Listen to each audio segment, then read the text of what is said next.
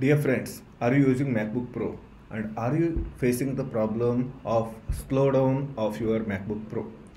In spite of investing more than a lakh rupees for a laptop and if you are still facing the storage issue then how to solve this one? Every time you cannot carry the uh, USB drive with you to keep the backup.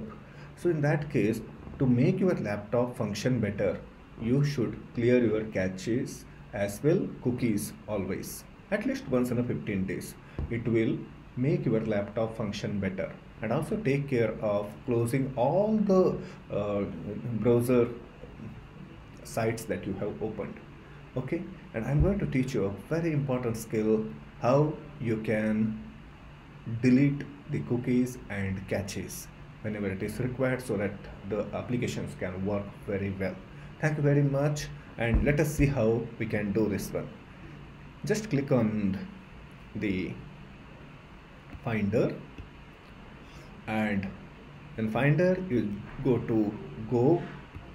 And in go when you go to go there you will find lot of uh, options like enclosing folder recent documents desktop downloads home computer many things. In that you just have to press option button on your keyboard. The moment you press and hold it okay don't leave it. Press option button and hold it and you will find library option. And that you click on that. And then you will see lot of things.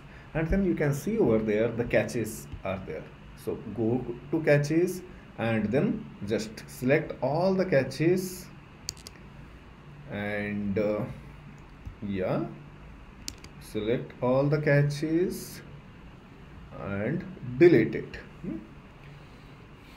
how to delete it? Just delete it from your move to bin or directly delete it from this and also you can find the cookies here. Go to cookies and also move to bin. By doing this one your laptop becomes better functional and you can release at least 2 to 3 GBs of data. Okay?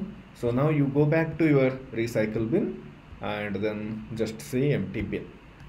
So this is how you can release your data from the laptop. Thank you so much. Namaste with love i hope this uh, session would help you a lot. If you have any questions don't forget to write to me on santosh.talaghatti at gmail.com namaste with love